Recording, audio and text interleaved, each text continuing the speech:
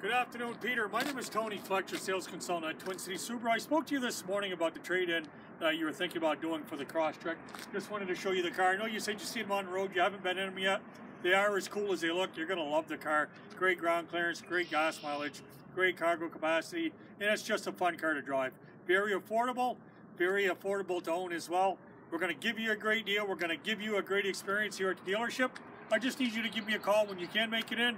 I know you were thinking in a few days, maybe a week or so, but give me a call on my desk if you could, 224-7228, and I can go over this with you and set up a time to have you come in and check one out. Thanks, Peter, and I hope to talk to you soon.